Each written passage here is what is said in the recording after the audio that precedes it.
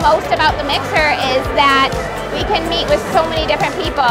We meet with writers, actors, and directors, and everyone gets involved, and it's it's fantastic. We love it. I love these mixers. Uh, You, you get like hundreds of people together just for this particular event. Uh, a lot of people collaborating, sharing ideas, all that stuff. And since we're creatives ourselves, we love being able to mix with other creative types. So really cool to be a part of.